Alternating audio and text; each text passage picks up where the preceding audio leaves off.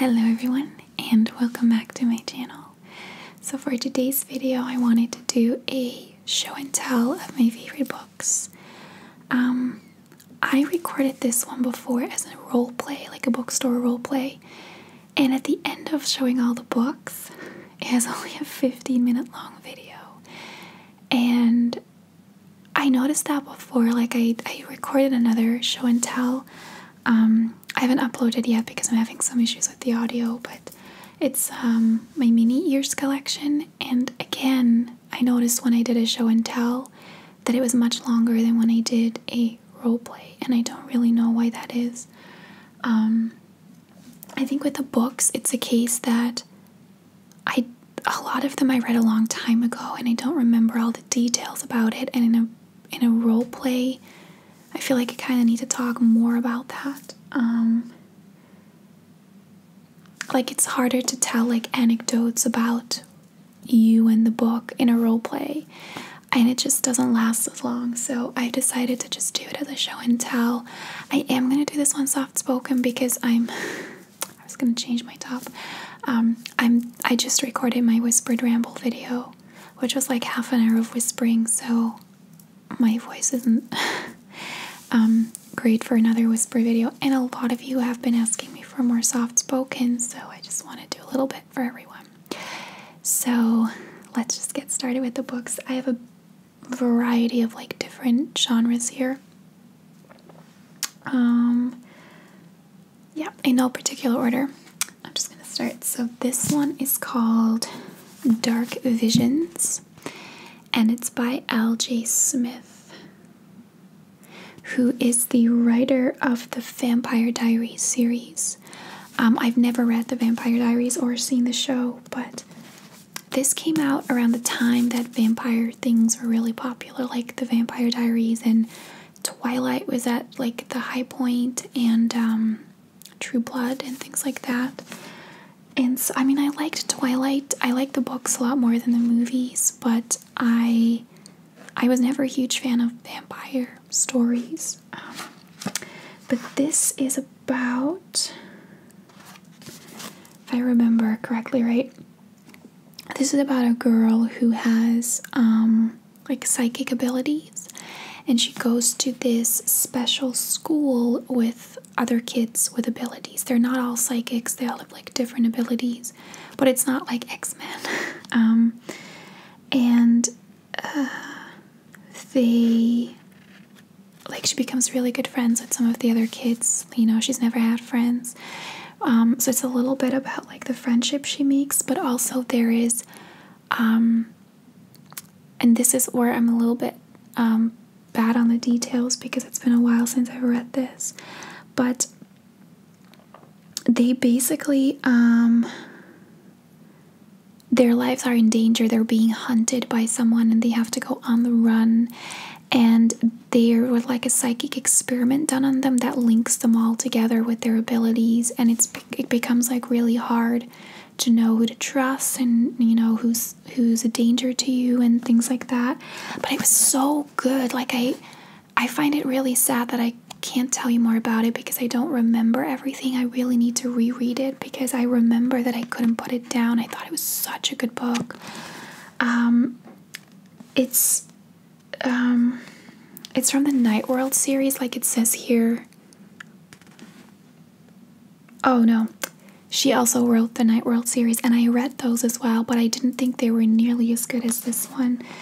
Um, it was just a really good book. I just don't remember too much about it, but if you like more like sci-fi fantasy type thing, but like darker one, then I definitely recommend uh, the Dark Visions book because I just remember not being able to put it down. I think I'm gonna reread this one next when I'm kind of done with my newer books. Then another book that I have, this is completely different. It's the Single Girls To Do List by Lindsey Kelk. Uh, Lindsey Kelk write, writes all the iHeart books, like iHeart New York, iHeart Las Vegas. Um, I have iHeart Las Vegas and I like it, but I haven't read any of the others, so I'm kind of not into the whole series. But this one, oh my god, um, a friend recommended it to me and I read it. in 2011, I had to go on a business trip to India. It was a really long flight, and I read it on the flight, and I spent a lot of it laughing out loud. Like people were staring at me because it was so funny.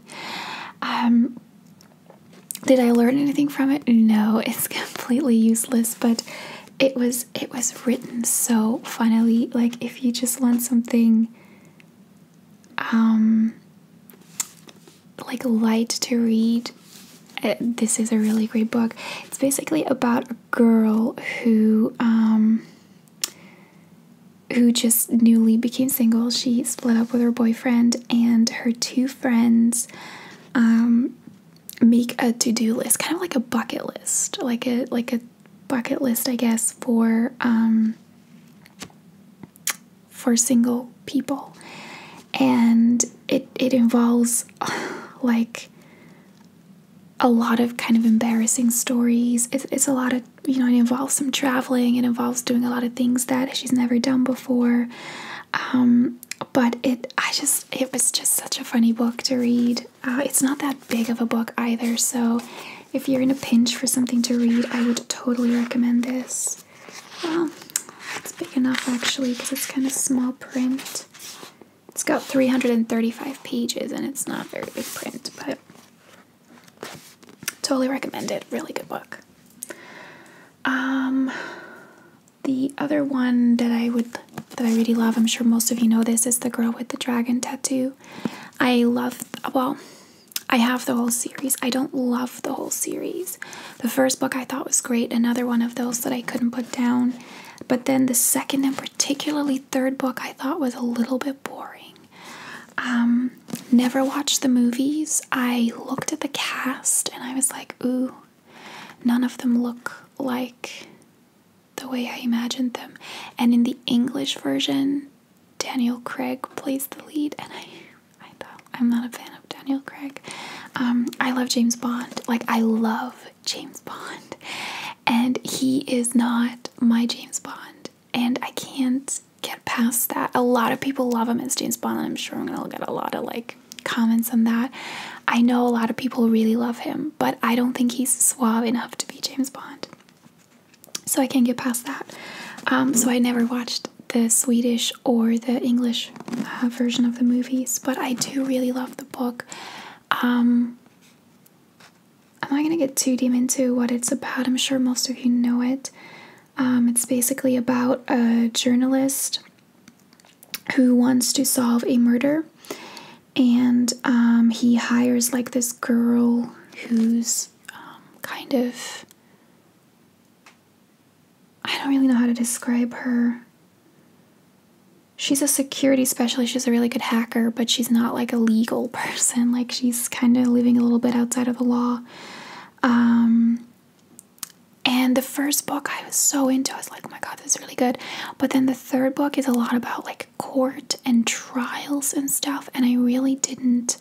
I thought that was a little bit boring. Um, so I do recommend it. I mean, I think it's a great read. And if you've only seen the movies, then I I'm pretty sure the books are going to be better. They always are. So I do recommend it if you haven't read it yet. Um, particularly the first one was just really, really good. And it is one of my favorites. The next book I have is called A Place Called Here, and it's by Cecelia Ahern. I'm sure most of you know P.S. I Love You. Uh, if not the book, then at least the movie. Uh, she wrote P.S. I Love You. That was her first book. I have most of her books. I've kind of. I used to read like a book a month. And in the last. I want to say since Netflix came out, I I've barely been reading. I used to read a lot on planes and I travel a lot. But since you can um, I used to read a lot during takeoff and landing, and then when it was really good, I just kind of got stuck in the book for the flight. But since you can use your tablet during takeoff and landing now, I don't really read anymore, which is really sad. Even if I go on holiday and I'm by the pool, I tend to play on my Nintendo 3DS or watch um, a video on my iPad or something. So I'm I'm too digital, but I do miss reading and I'm trying to get back into it. Um, so I have all of her earlier books. I think I have six or seven of her books, but the ones that she wrote in recent years I don't have anymore. This, however, is my favorite. Um, it's such an inventive idea. So it's basically about um, a girl who, when she's a child, a girl she knows goes missing. Not a girl she liked, kind of like a bully. She really kind of hated that girl. But she never got over the fact that she vanished into thin air and that they never found out what happened to her. And she became obsessed with losing things like she would constantly lose her socks. You know, we all have it. You put two socks in the washing machine, only one comes out. Um, that happened to her all the time. She would always lose one of her socks, and she became absolutely obsessed with that. And then one day, I mean, I don't want to spoil too much of the book, but I can't really tell the story without doing that. So, um, one day she goes missing herself, and she ends up in a place that they call here Um, and she finds out that it's a place I think it's not it's not quite on earth.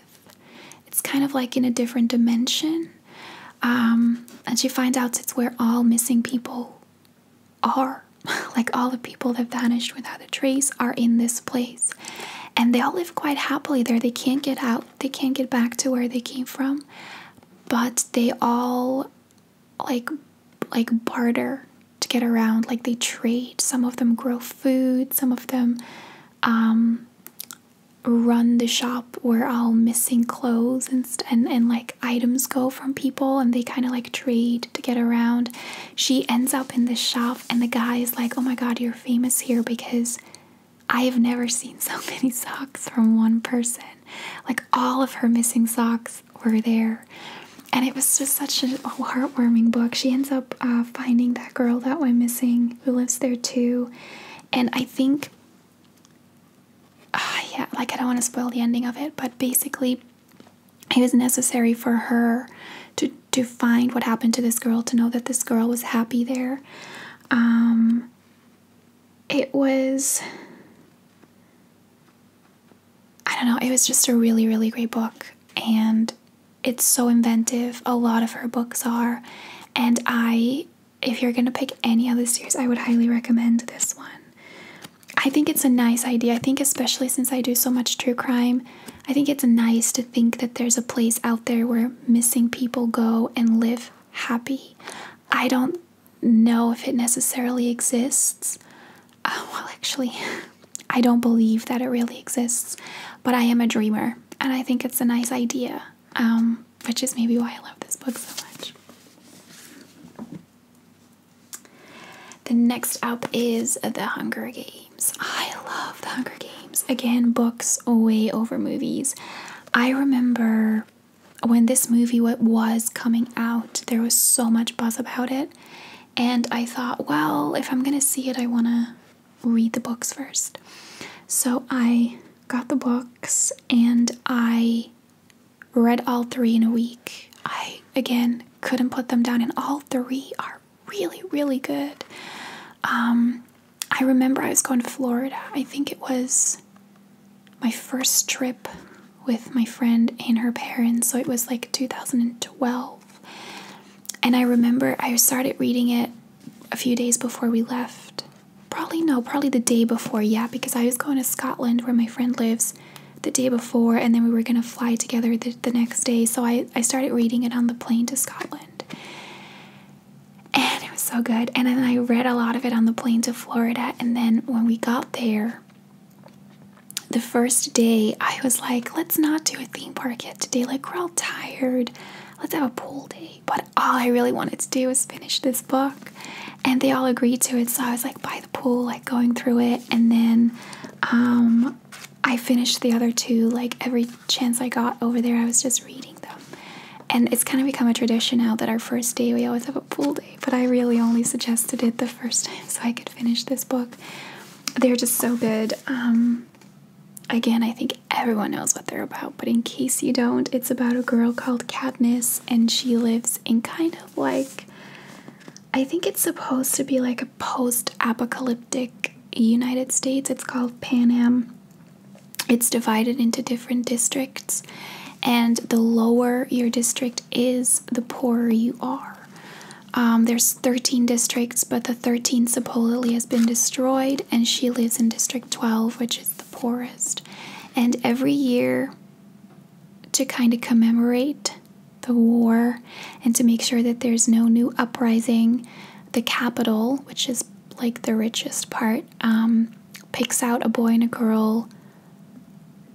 Mm, I think it's between the ages of 12 and 16, uh, very young anyway, to participate in the Hunger Games, which is like an arena where you fight to the death and only one person comes out victorious.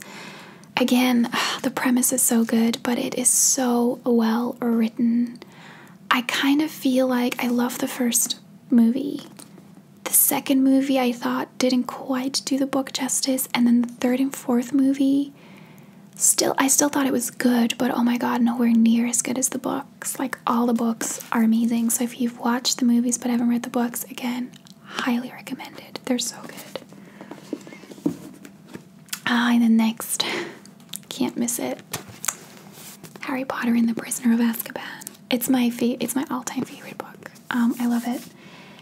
So, um, yeah, I'm, I'm, I realized that I'm missing a book in my series. I'm gonna have to go find that. Um, I love the whole series, I'll be honest about that, but I don't want to cheat and get all seven books up here. So I'm just gonna pick my favorite, which is Prisoner of Azkaban. Um, by far my favorite book, by far my least favorite movie. The movie Harry Potter and like this the eight movies were directed by four different people. The first two was done by one person, the third was someone else, the fourth was someone else, and then five, six, seven, and eight were done by the same person. And this was the first movie that was done by someone else, and he if I'm not mistaken, he's a Spanish director. Alfonso Cuaron. I don't want to like insult anyone that he might be from Latin America, but I but I think he's a Spanish director. And I felt like like there were a lot of Spanish influences in the movie, if that makes sense. It was a very busy movie. The music was really fast and um,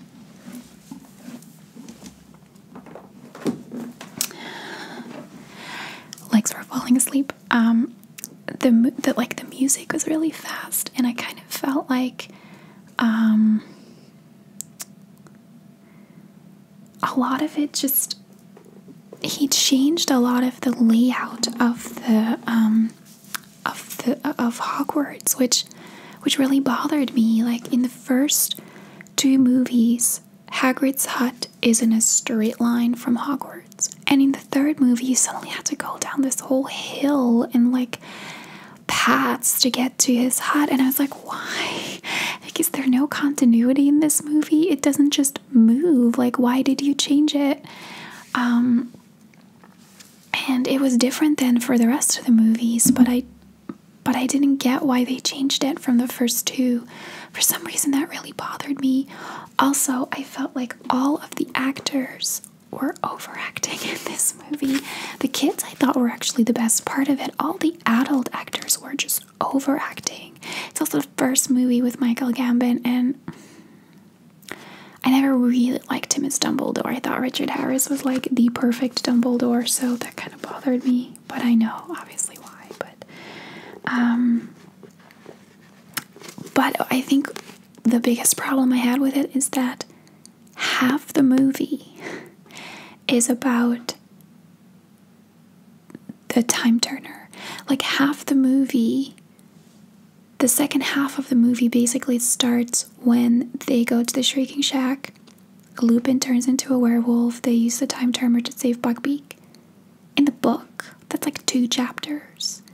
Like there's so many other things going on in the book that they just skipped over in the movie. And I don't know. I feel like I think in general this is most people's favorite book and most people's least favorite movie. I think a book always has more expectations. But I just thought it was the least Harry Potter like movie of all of them. So, yeah, not like, not my favorite movie. But what I love so much about this book is just, again, the ingenuity. I mean, the fact that a rat that had been living with the same family for 12 years turned out to be a person that killed a bunch of people. Like, I just thought, when I read that, I was like, no.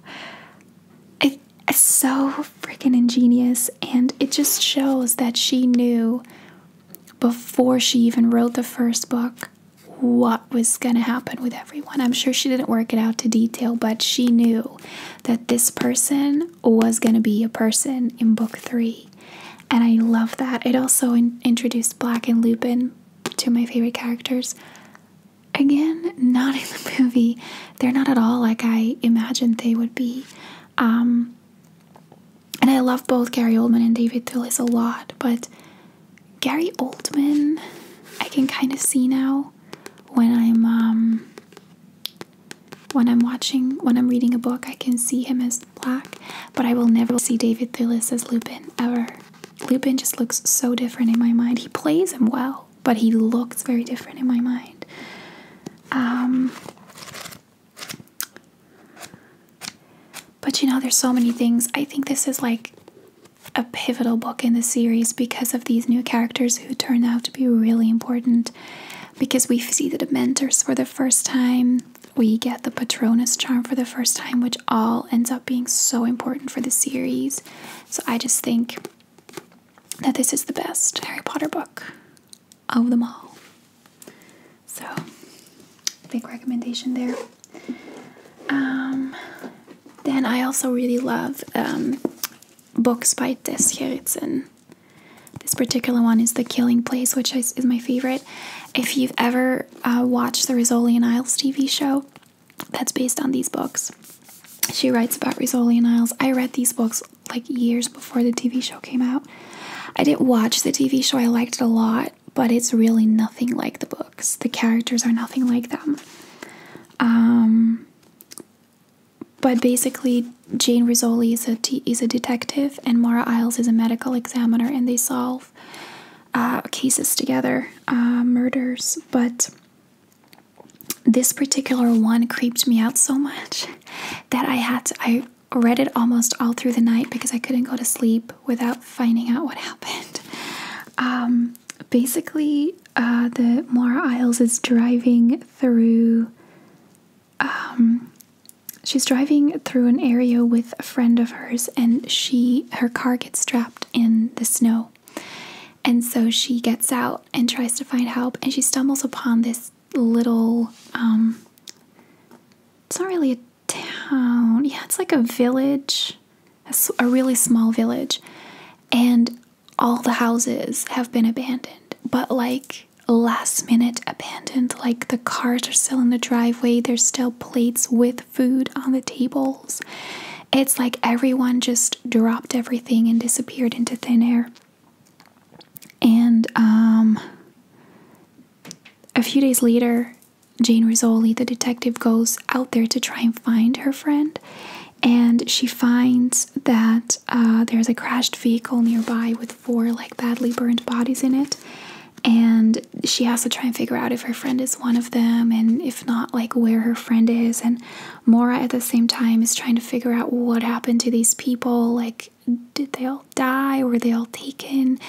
Um, but every time I hear a story about people vanishing, um, not vanishing, but like abandonment, like people abandoning stuff short notice, it always really creeps me out.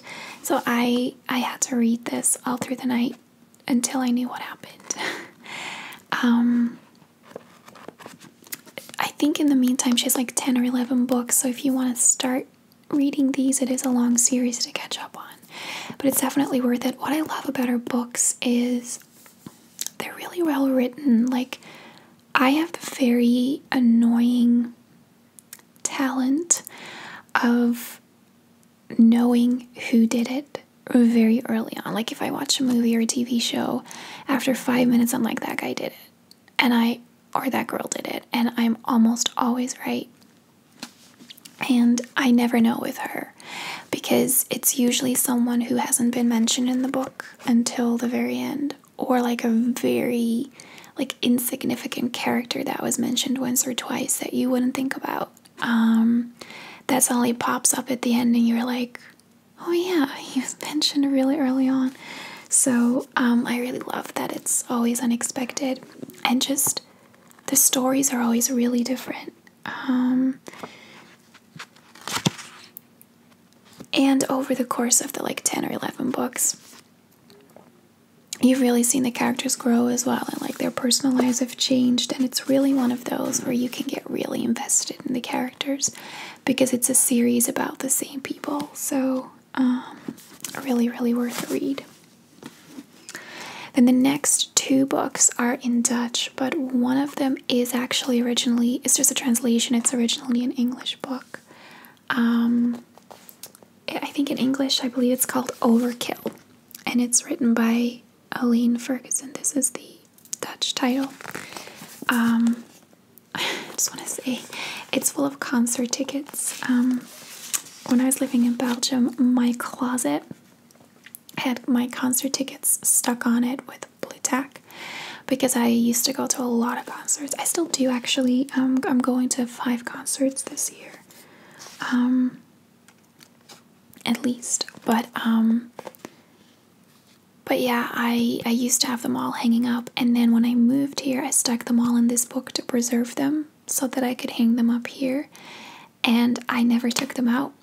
They've been in this book for 13 years and they're really um, stuck to it now, so I can't even really take them out anymore. So, anyway, um, this book was on the recommended reading list from school. Um, I don't know how it works wherever you guys live, but in Belgium, we have multiple book reports to do every year. Um, both written and oral. Like we usually have to write a book report and then we have to stand up in front of class and tell like the story of what the book is about and what we thought about it.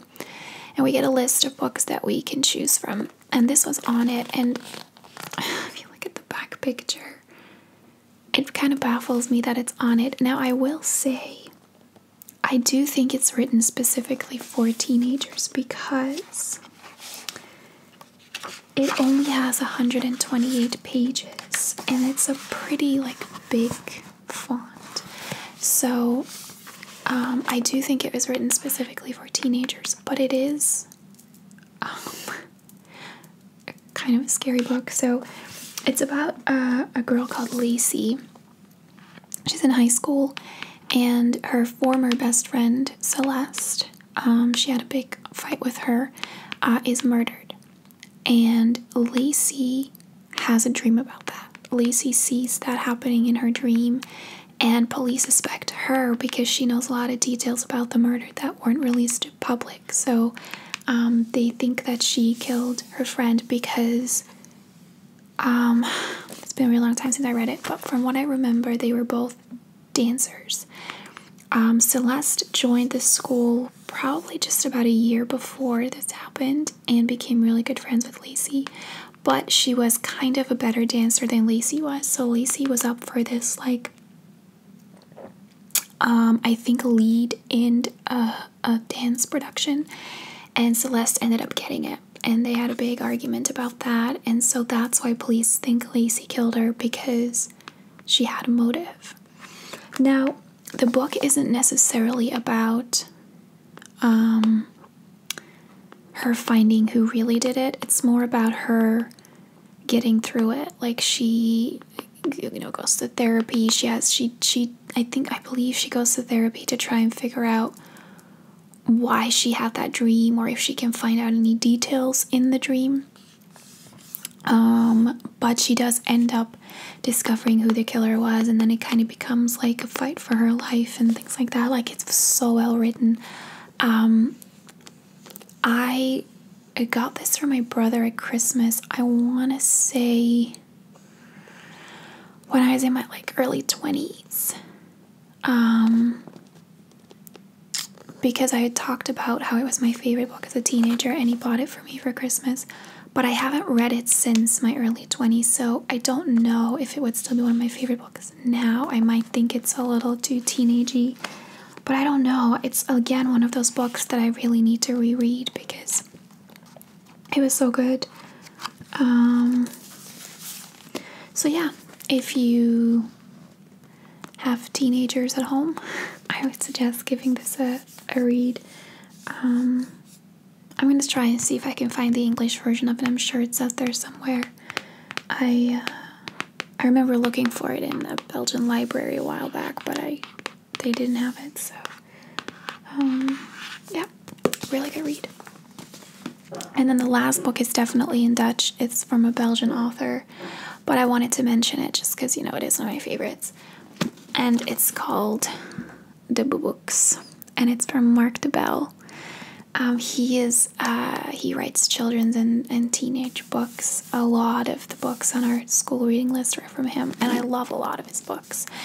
These are my favorite. They're actually three books, but this is the omnibus, so it's like all three stories in one book.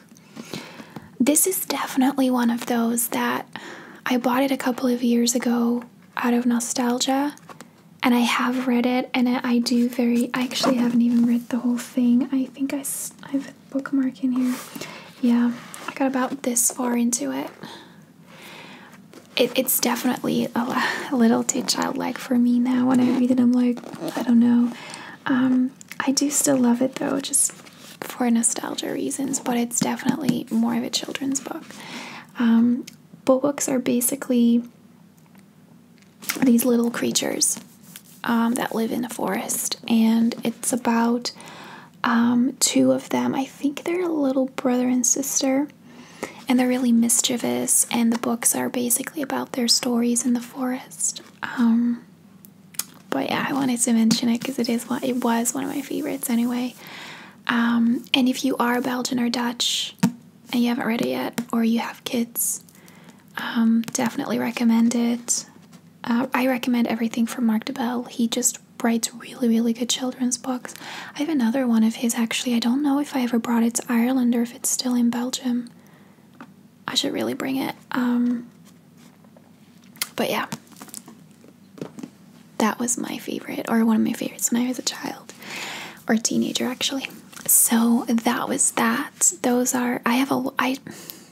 I have a good few books. When I look at my bookcase, I have a lot of them but not quite as many as I thought. A lot of them are series. So I have to like talk about um, the whole series when I mention them. Um, but those are some of my favorite. Let me know what some of your favorite books are. I would love to get some recommended reading. I um, am currently reading two books, and one is another Tess Gerritsen.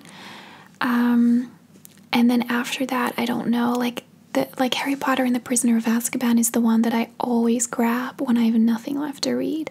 And like when I go on vacation, I will always take it to read it by the pool or on the plane.